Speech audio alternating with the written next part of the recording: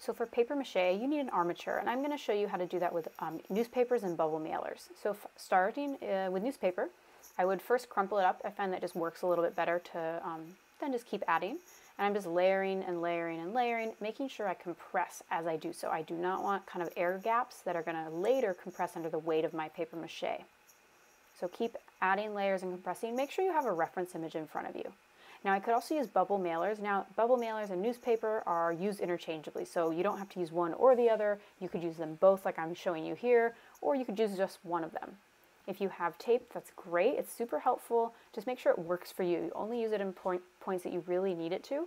If you don't have tape or you're worried about running out, you can go um, ahead and work without tape. Just kind of, you're going to have to be a little more careful about where you're going to get these things attached.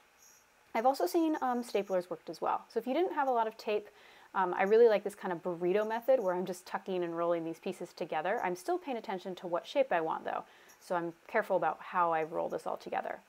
Again, a little bit of tape can go a long way, or maybe staplers, right? Now I'm going to try to add my head here, and this first head I had was too big, so I'm going to take away some of that newspaper, and that's a little bit better. And I need a neck, so again, you could use bubble mailers or newspaper.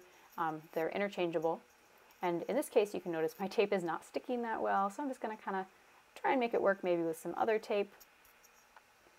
But ultimately, I am going to add another layer of newspaper, so that tape doesn't really matter. I really think it matters at this point in the video, but um, I discover sooner or later that, look, if I just do this, it's not as big of a deal. Now this is getting closer to my finished shape though, so I wanna make sure I'm not adding too much bulk around the neck because then I lose that definition. So you wanna be careful as you're going and getting closer to your finished piece to really check your shape.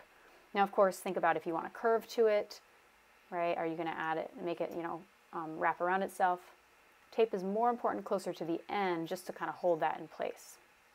If you didn't have tape though, you could probably just use strips of newspaper with mache already on it. It kind of depends on how much tension you have um, on your piece. All right, so if there's too much tension, it'll pop up. So do you want legs, right? Then you would want to add those. Those could be out of newspaper or um, cardboard. And then um, I would just keep going and adding as um, I needed until I got my overall shape.